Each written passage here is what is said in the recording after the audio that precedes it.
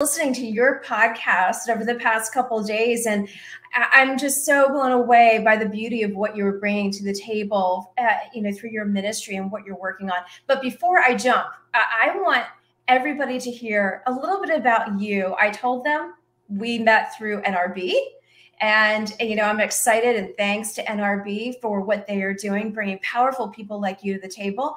But first let's hear a little bit about your journey you are a mental health expert and you're an author. So, how did you get here?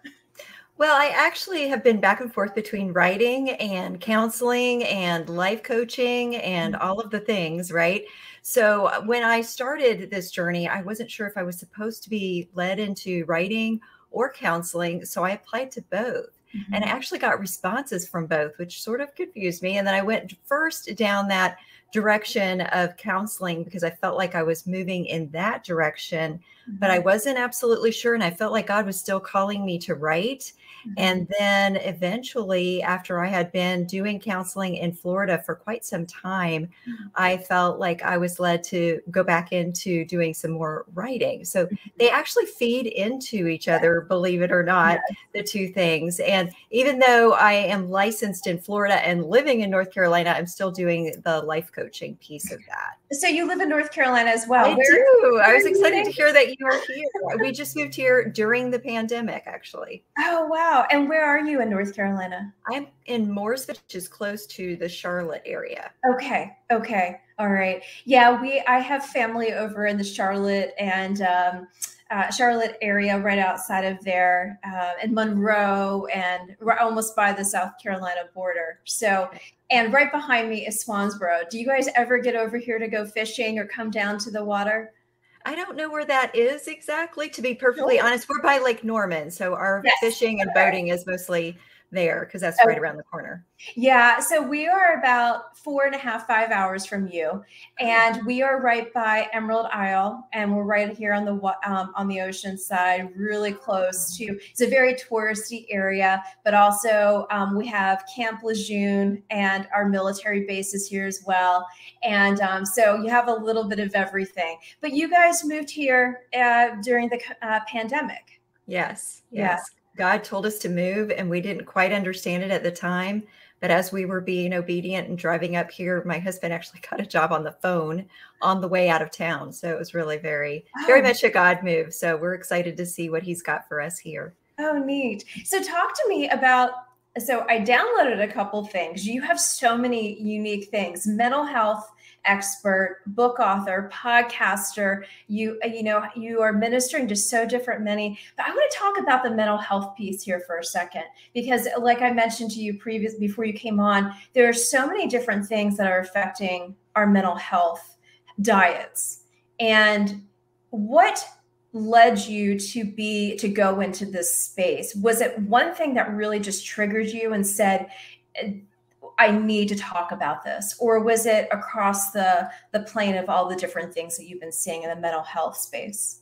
Well, it's always been a part of my heart and my outreach because that's what I've been doing for so long. Mm-hmm. And I do see that during the pandemic, because people were isolated mm-hmm. and because there was so much fear mongering that was going on, mm-hmm. it really has greatly affected the mental health of all of us, but particularly so for younger people, for children, and for new adults. This is a huge issue with increase in anxiety and depression and mm-hmm. even suicide attempts among younger people, which isn't common across history for that to happen for that age group at this rate. When did you start to see it increase in the time period? Well, we didn't see it exactly because we were so isolated. You weren't seeing when it was starting. So I think it was starting as soon as we started closing all the things down and people couldn't interact.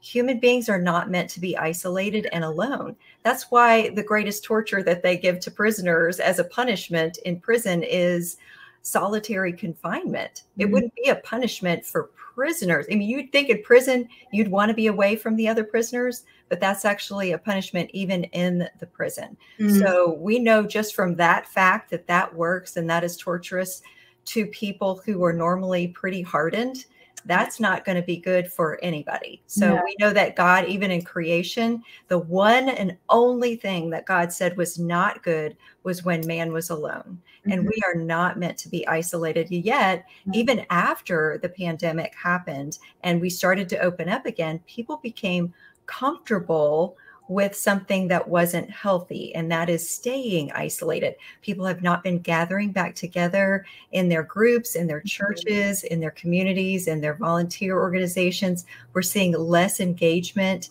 in retail establishments like bookstores. And I was concerned about that. And that was why I wrote Upcycled, because the hope is not only are we going to be able to heal that brokenness as we gather together in the subjects in the chapters, mm-hmm. but the crafts will give people a reason to gather. Mm-hmm. And that was what I was hoping because I was hearing retailers saying they're not seeing their customers come back.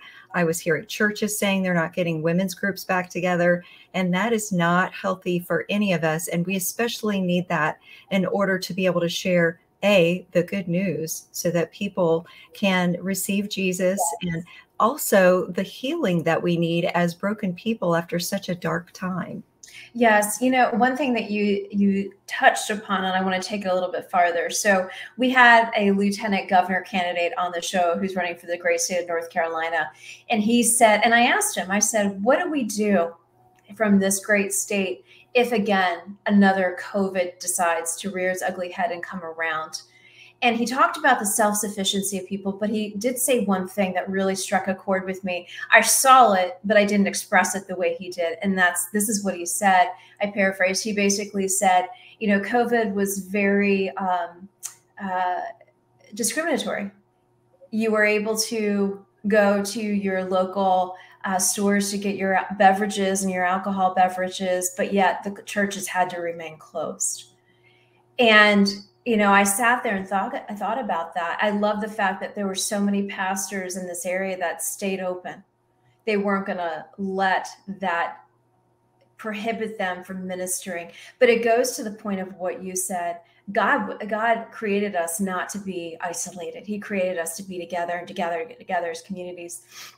And so I, I want to talk more about that as we are in 2023 as some of the emergency pieces have been lifted, what do you recommend for communities to not, I wouldn't use the word afraid, but to not be so used to the isolation piece and to gather back together? Because I even, I see in our community here, you know, I am always out walking and I see my neighbors out walking, but it took a hot minute for people to start to get used to doing that again, to start communicating and start waving and not being afraid to engage in conversation. And so, what are your thoughts now as we are in 2023? I think it's very important that you step past your barriers of fear and insecurity. You can get very comfortable in your little hole, like in The Hobbit. Um, you're, yes. you're, awfully comfortable in your little hole in the ground, Bilbo Baggins. You want to make sure that you don't stay isolated because your God adventure, mm-hmm. Your story is meant to be played out with your fellowship. And you're meant to be with other people that will strengthen you and empower you and help you grow. We don't grow well in isolation. So, remembering your growth depends on connecting with other people who aren't just like you, that are different from you, that are going to have different strengths and different gifts, but mm-hmm. also know that you have something that you alone are designed to do. And your purpose is not going to be carried out in isolation. So you won't fulfill your purpose by staying alone. And knowing that the definition of courage, of getting past that fear and that barrier, comes from the Latin for heart. Mm-hmm. So it comes from love. So connect first with God's love before you venture out. Mm-hmm. Feel it, receive it for yourself, and begin to look at other people through his love instead of through fear courage and love, which is the basis and the reason to have courage, is the opposite and the antidote for fear. The only thing that overcomes fear in a powerful enough way to get us through this is love. And the only love that is true enough comes from God's heart. So mm-hmm. we need to mm-hmm. connect with that and reach out with that to connect with our neighbors, despite what we might be afraid of, because right. there's nothing worse than the true result of being afraid. and that mm-hmm. is doing nothing and living as if you're dead already. Right, right. Let's talk about your book, Upcycled. Let's talk about the flip book and the template. I posted the link on the uh, social pages so our audience can go in and, and download it. But talk to me a little bit about Upcycled and the flip. I looked at some of the uh, Bible verses, but how did this come together and how have you been using this as a tool to minister? Well, it came together because I went to the Christian Product Expo and I was hearing some of the same things that I was hearing from other professionals in speaking and mm-hmm. coaching areas and counseling areas that people were not gathering back together. And I was just praying as I was walking through my local park about how we can resolve this, how we can reach out and make a difference in this issue, and also deal with the issues of people feeling so broken and dealing with so many mental health issues and feeling as though they can't do anything. And the Lord was bringing to mind all of these beautiful things that I see in the antique malls that I love to go to, where artisans will take things that are old and battered and junky, sometimes just worthless and ready for the landfill, and people will upcycle those things and make them more beautiful and purposeful than they ever were before. But that's what God does with us. No matter how broken we've been, no matter how burdened or chippy or beaten down, God will take us in our souls and in our lives and make us more beautiful and more useful and purposeful than we ever imagined. Mm. Not just better than we were before, but more than we ever dreamed we could be. Mm. Because through His power, we are going to be what we were designed to be. So that is the message in each chapter. It's meant to help people see their worth and their purpose mm-hmm. and their potential, which is beyond what they can do in their own strength. But it's also meant to connect us with other people so that we can heal together. And each chapter also has opportunities where you can take those craft items yeah. and donate them. So you're paying it forward. We learn best when we share. Mm-hmm. And this is a deepened message when you reach out to others and share it. Plus, it extends that message to bless other people when you share it. Mm, oh, wow. That's it's so powerful to hear you say that and to really start bringing things together. One of my favorite things I love to do is antiquing, and my husband dreads it because he knows I'm going to bring something home. and if he's watching, he's probably he's probably shaking his head. But I sit there and say I love antiquing because there's always a story behind that treasure. It came from somebody's home. It meant something to them, but they had to maybe get rid of it. And then I take it and say, okay, what can I? How can I make this more beautiful? And that's exactly you know God wants to make us more beautiful um, in so many different ways. And so I love how you are using this tool to bring people back together to share. What kind of responses have you been receiving from doing this? Has women have women's groups, Bible studies started to start to form? Have you seen more people start to gather in their homes together? What what kind of um, you know edifying responses have you received from it? Well, it came out in October, but I have not been able to get all the feedback from the places where the book has gone. It's been uh-huh. still hard to to get that data in, but it is something that can be used by Bible study groups, by mm-hmm. book clubs, by women's groups, by charitable organizations. This is a great way to bring people in as volunteers to get to know each other yeah. as a team, and it's also great for homeschoolers. Mm-hmm. Homeschooling families can do this to connect with their teenage children. These are mostly crafts you'd want to do with older children and adults, but with teenagers, it's sometimes mm-hmm. hard to get them to open up and talk. And a craft will be something that will give them a place that they can discuss things with you over, whereas they won't necessarily mm-hmm. do that face to face when there's nothing to talk about. If you just ask them how their day went, you know what your teenager is going to say. It'll be, oh, it's fine. You know, like they'll kind of grunt at you. And that's about all they're going to say.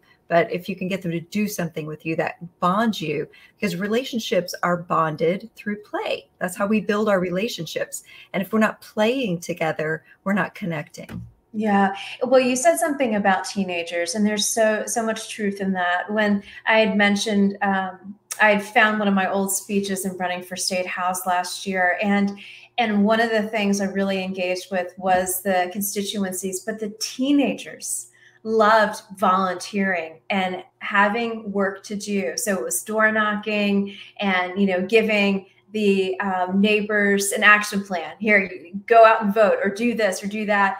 And when I got them together over pizza and a Coke, the floodgates just opened because they had worked really hard. They saw what their work could produce.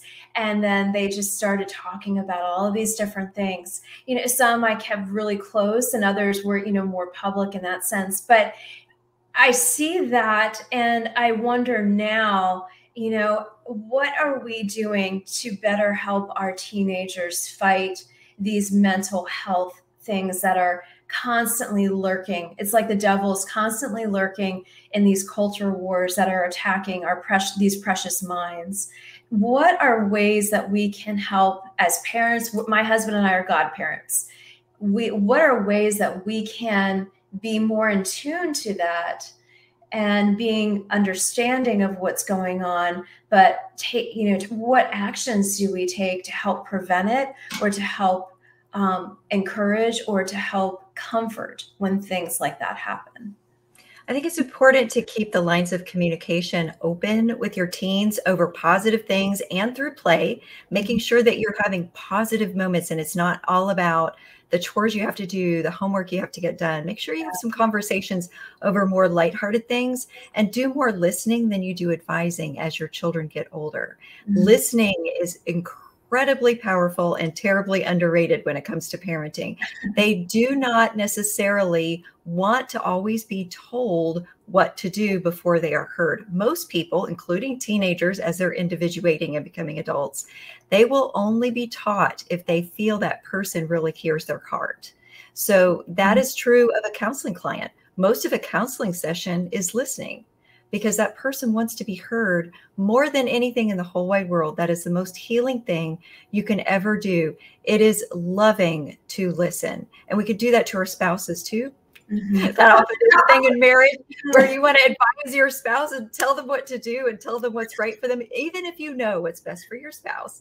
It is always better to listen for a little while first until they feel heard before you advise them. So that's the first and most important thing with your teens is know that they're going to feel heard before they're judged and mm-hmm. resist the urge to jump in and go, oh, I can't believe your your fellow teenagers are going through that. I'm terrified. I need to block you from all of those people. Before you react with that emotional reaction, right. make sure you're listening and you're hearing past what they're saying in anger or what they're doing in their behavior and mm-hmm. hearing the vulnerable feeling in their heart. It sounds mm-hmm. like you're feeling disrespected. It sounds like you're feeling confused. Mm-hmm. It sounds like you're feeling afraid. Look for that vulnerable feeling and connect with that.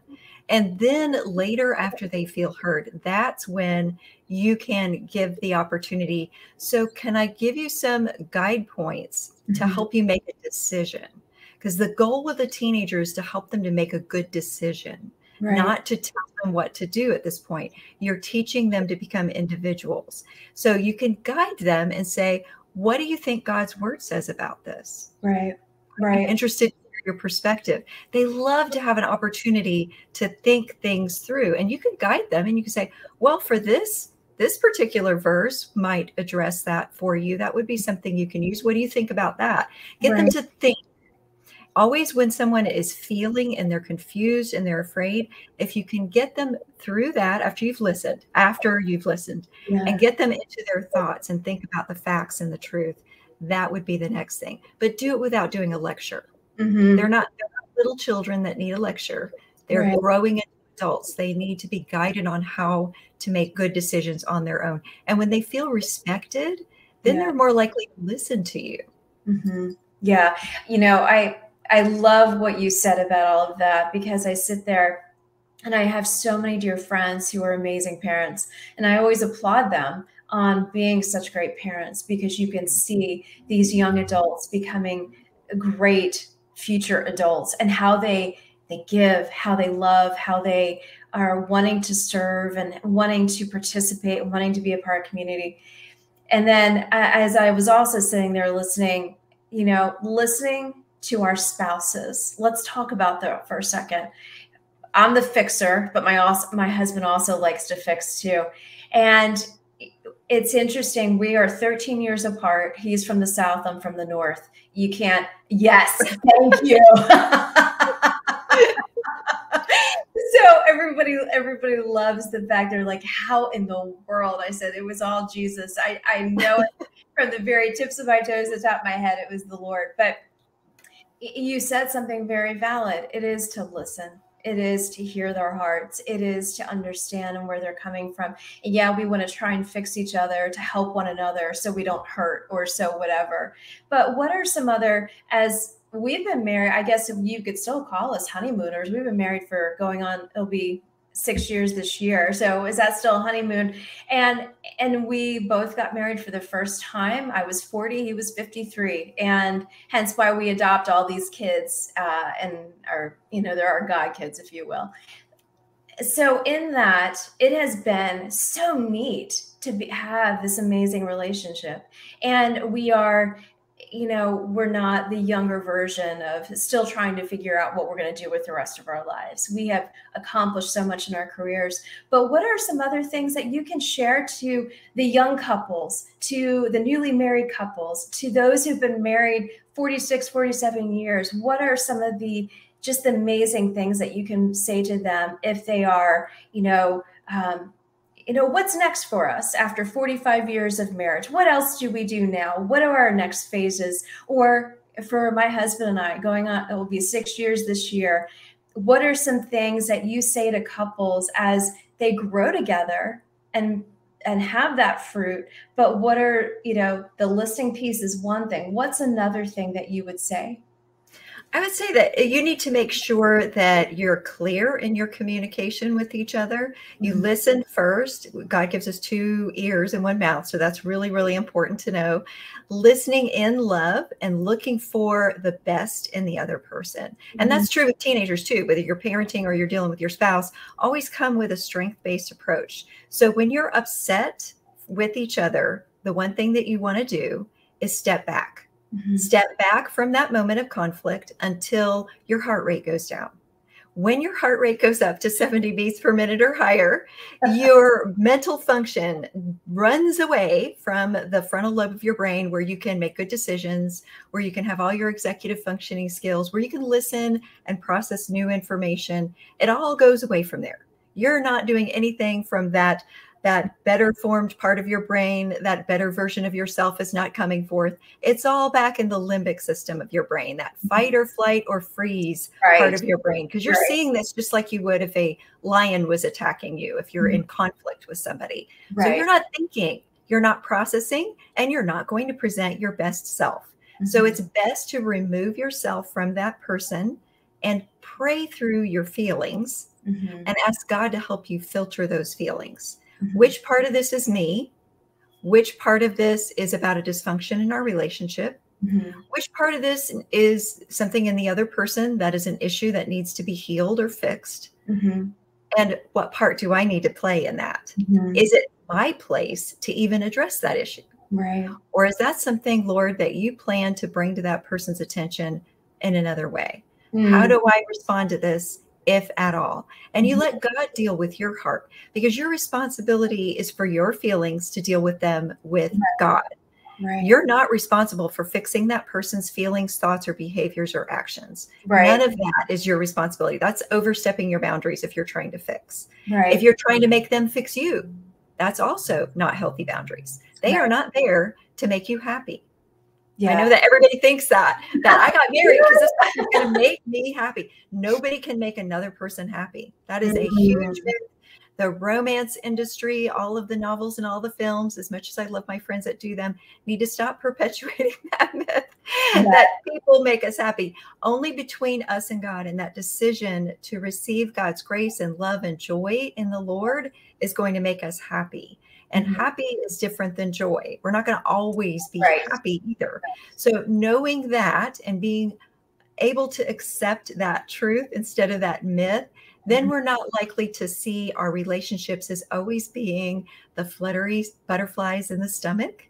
Right. That is actually a chemical reaction called phenylethylamine.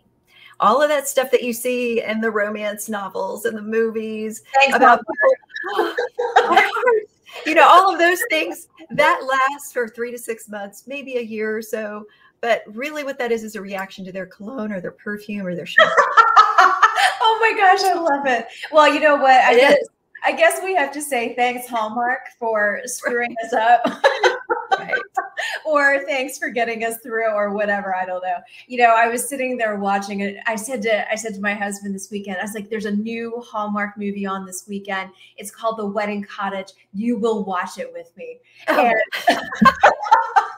and he did. He watched it with me but with his own headlines and subtitles and everything else in between. Anyway so that's love. That's love. Yes. with watching hallmark and a rom-com. Anyway I want to hear about what you have coming in the next couple months. I know you have a podcast. How often does that air? I know that you're going to be at NRB, and I know that you have some other opportunities. So, talk to us about what you have coming down the pike and where can my amazing audience, not just in North Carolina, but all over the place, find you, follow you, watch you, listen to you? Well, I'm going to the Well Conference for Creatives in Michigan this week. Okay. And I'm leaving Wednesday to head to, up to that. And then I'll be at NRB, like you said, in May in Florida. That'll be an amazing conference. That's always a big deal. Mm-hmm. And my podcast is called Flourish Meant. Flourish, and that's dash M E A N T. So you can live the life that God meant for you and flourish. It's all in interviews with experts that are going to help you live your best life.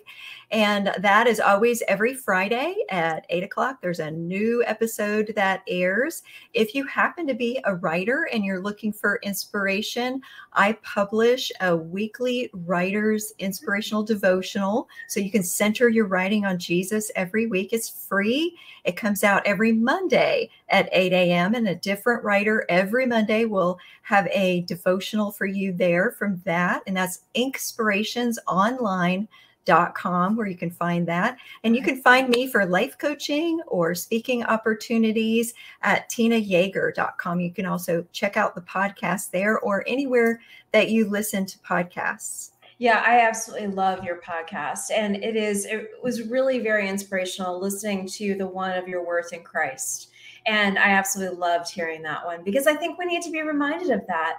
And the guest that you had on for that podcast, she really had a very powerful story of what led her to that. So I'm not going to reveal anything. I will let the audience go check out your podcast because that was one um, they must hear. And I also wanted to find out where else are you looking for additional speaking engagements? Are you looking for additional opportunities? Yes, I'm always available for speaking okay. engagements, especially local ones. Um, okay. But I'm willing to travel as long as it's covered. So, um, yeah, I love doing speaking engagements because that gives me that opportunity to connect with people. And, you know, when we're writers and we're podcasters, we're in our space and yeah. it's easy to get isolated. I prefer to go out and do those events where I can just lay hands on people, pray on them, you know, mm-hmm. get really connected personally with the audience and love on them and be able to, to kind of minister to people in person. Mm-hmm. I do love that. There's a conference coming up in September, Salt and Light Conference, and it's not it's not going to be too far from where you're located.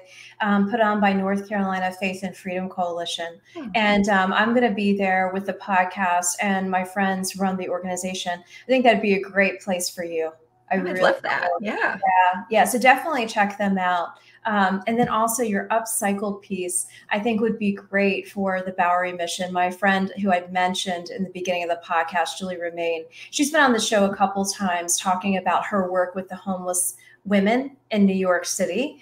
And um, that's a huge ministry that I used to serve with. And I think your upcycled idea would just be great for the Bowery Mission Women's um, group. So um, I'd love for you to connect with them as well. But anyway, I, I'm just any final words I, I, would like to have you stay on but i'm i know we're at our time limit but any final words of wisdom for us in this culture as christians and for us as we pursue going back to church, as we pursue that relationship with Christ, as He's pursuing us, what are some of your words of wisdom as we go on the day to day, fighting off? Fighting off everything that's around us, fighting off our phones. I even said to my husband while we were fishing this weekend, if I had the opportunity, I'd throw my phone in the water, so I would never have to be that that distracted. But that's the world I live in. That's the role I play with my work to that, where can we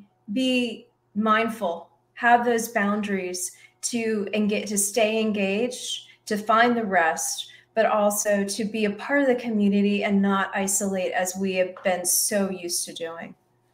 I think first and foremost, you need to know who you are in alignment with the heart of God mm. and not allow the enemy to tell you what to feel, what to think, and what to not do.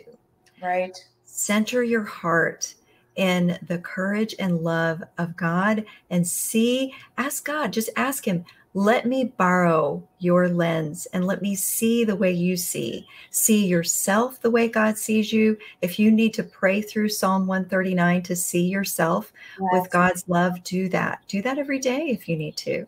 Mm. Put on your armor against the enemy, not against people.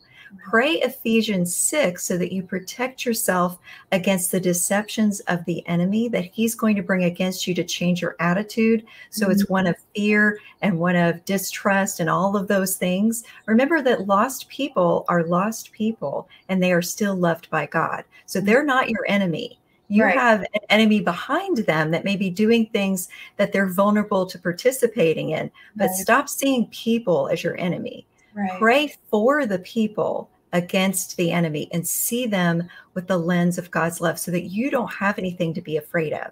We mm-hmm. don't have to fear death. We don't have anything to be afraid of as believers. Right. And if you're not a believer and you're listening to this, you can have that hope too, so that you don't need to be afraid. Just learn to recognize Jesus as your Savior, make that commitment, say that prayer, and just invite Him into your heart. And mm-hmm. that can change your whole entire outlook in life. So you won't need to live in fear and darkness anymore. Oh, well said and so powerful. Well, Tina Yeager, I am so honored and I cannot wait to meet you at NRB. I'm going to be driving down and um, I cannot wait to meet you and uh, just sit down and have coffee with you. And I would just absolutely love to just um, soak in some more. I'm a sponge and I absolutely